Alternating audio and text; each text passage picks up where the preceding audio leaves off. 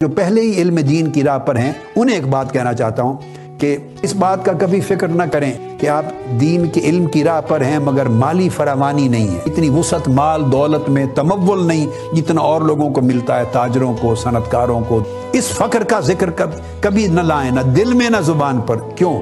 کہ میرے آقا علیہ السلام نے فرمایا، الفقر و فخری۔ جن کو اللہ پاک نے سب سے زیادہ علم عطا کیا، ان کو فقر کے ساتھ جوڑا۔ یہ چولی دامن کا ساتھ ہے، دوستی بہت ہے علم اور فقر کی۔